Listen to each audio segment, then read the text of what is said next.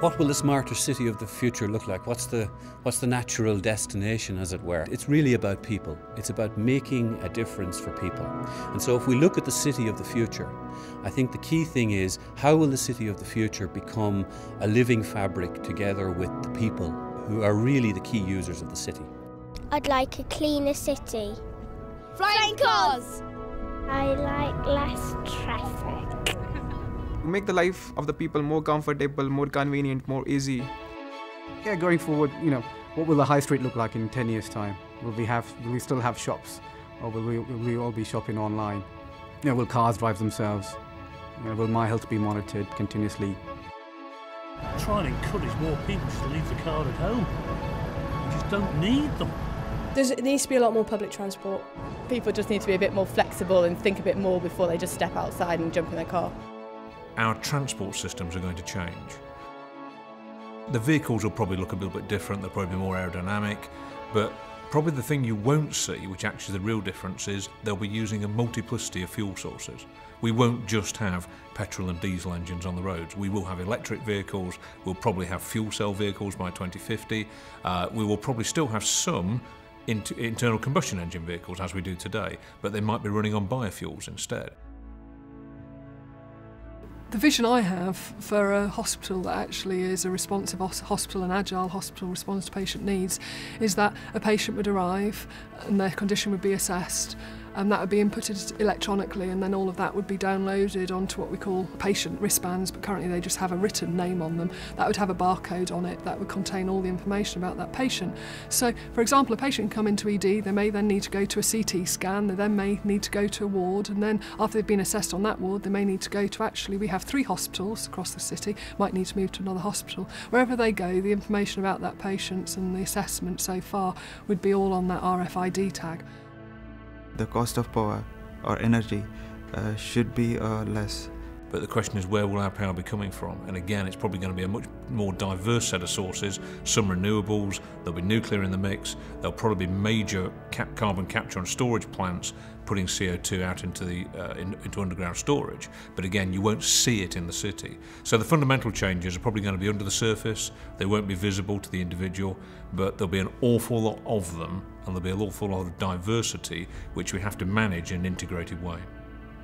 So, how will the services, all of the instrumentation, all of the smart devices, all of the smart systems, how will we take all of those artifacts together with new technologies that we perhaps haven't even conceived of yet to create a better embedded living environment for people?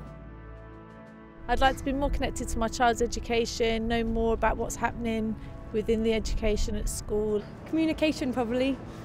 Making everybody aware when there's a problem and the reason behind, behind it.